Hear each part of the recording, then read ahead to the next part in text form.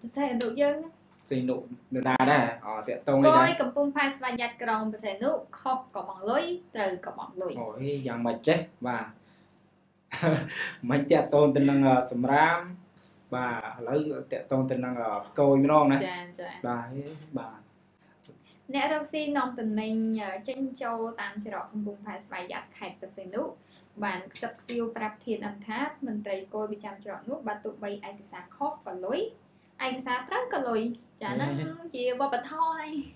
បាទមិនចឹងណាចាយ៉ាងម៉េចទៅខុសយ៉ាងម៉េចទៅត្រូវចង់គឺដឹងតាមបញ្ជារបស់លោកយឹកយូយឹកយូបាទចាយឹកយូយូទេយូបាទនៅយឹកយឹកយូហ៎យូបាទយឹយ៉ាកយូចាយឹកយូមេកយកំពុងផែប្រសេនុបើណាមិនបងតាមការទៀមទាបើសិនជាណាមិនបានអ្នកណាមិនបងតាមការទៀមទាកុំសង្ឃឹមថាបានយកតំណែងចេញចូលឲ្យសោះ យ៉ាលក្ខខណ្ឌចាបាទក្រុមអ្នករត់ការឯកសារបានទម្លាយព័ត៌មានថាឯកសារចុះប្រតចាបាទឯកសារចាយ៉ាងម៉េចទៅលោកស្រុនចុះអ่าប្រតិវេទកយបាទអាហ្នឹងអីដែរ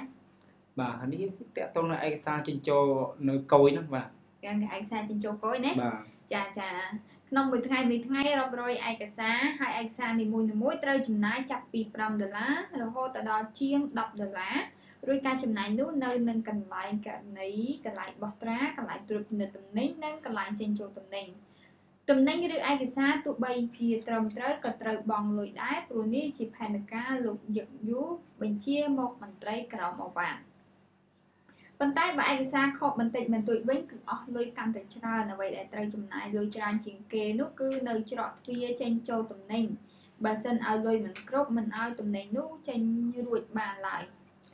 អ្នករកស៊ីនាំឡានពីក្រៅប្រទេសមកបានលួចខ្សឹបបង្ហើបឲ្យដឹងទៀតថាបើឡាននាំទំនិញចូលទោះបីបង់ពន្ធឬមិនបង់ពន្ធគ្រប់ឬក៏មិនគ្រប់យ៉ាងណាក្តី ក៏គេត្រូវតែរាប់ក្បាលឡានដើម្បីប្រមូលចូលហប៉ៅមិនមែនចូលរត់នោះទេចាចូលហប៉ៅរបស់លោកជាយូក្នុងមួយគ្រឿងនោះគឺ10ដុល្លារអូនេះជាគោលការណ៍ពុករលួយនៅច្រកកំពង់ផែស្វ័យយ័តក្រុងបរសៃអនុអ្នករកស៊ីទាំងអស់គ្មាននរណាហ៊ានជំទាស់ជាមួយនឹងលោកយឹកយូនោះទេព្រោះគាត់ជាចំណិតរបស់លោកគុណញឹមអគ្គនាយកគយនៃស្រុកខ្មែរ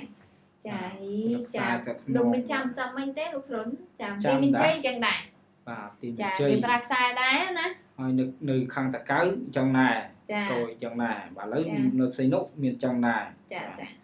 តាមការប៉ាន់ប្រមាណនៃតំណែងហូរចូលឬក៏ហូរចេញដែលមន្ត្រីគយយកលុយដាក់ហបៅ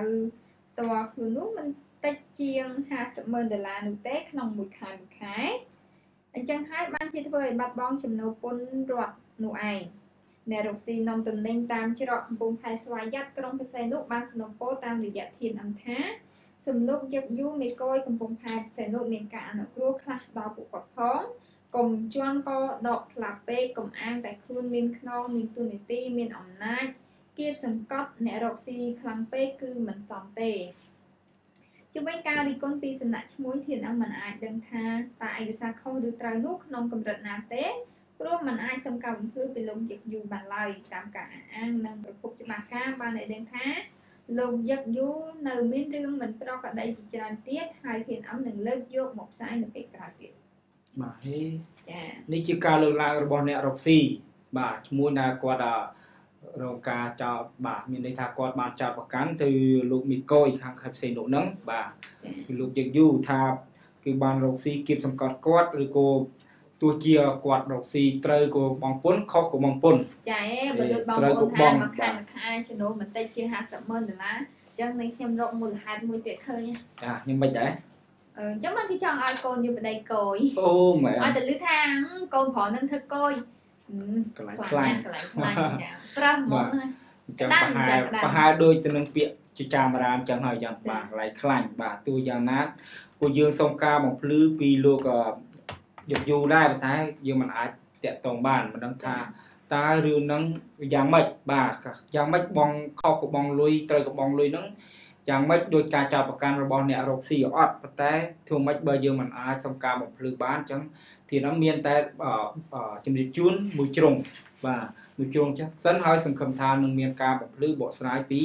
បាទលោកអឺមេកុយកំពុងខែស្វ័យចិត្តខេត្តសីហនុចាបាទ អរគុណឥឡូវយើងចូលរឿងអឺថ្មីតែ